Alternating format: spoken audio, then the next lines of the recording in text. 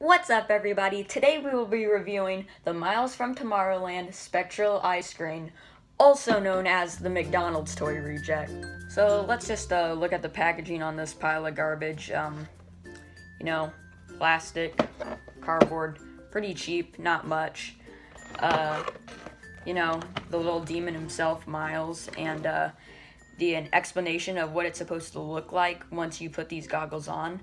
Now, personally, while it doesn't show it in here, I heard I've heard rumors that next to the factory where these things were built, that there was a radiation leakage, and um, so that's why I might need to wear a radiation suit later on in this video once I put these uh, very deadly things on. Um, now, if we look a little deeper, we can also see an image of somebody throwing something into the trash. That's actually an explanation that after you wear these, you need to throw them away or put them to an airtight container and send these back to the government because they were actually recalled because of all the um, kids that were uh, getting cancer from this. But let's uh, look past that for now and uh, let's just uh, get right into it.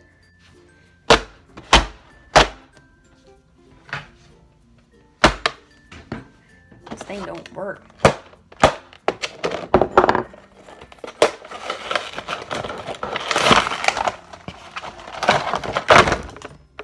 Okay, so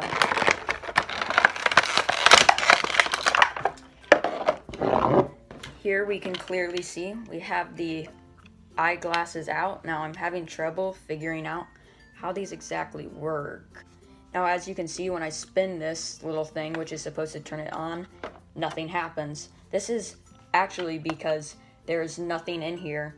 There are no batteries, there are no electronics. It was so cheap, they just couldn't put anything in here. So personally, I will actually have to build all the components for this and uh, put some batteries in there for us to actually see this. This is literally just the frame. They're so cheap, they couldn't even put basic electronics in it. So uh, um, as it turns out, they're defective. They do not even work. Uh, nothing about them is good. I mean, batteries don't work. Uh, I put new batteries in them. They just suck, you know? It, it doesn't work. And uh, so I'm going to ship this back to the company. And I'm also going to sue them because I noticed my dog growing like a third leg or something. So, uh, yeah. If they don't accept returns, I'm just going to have to blow it up.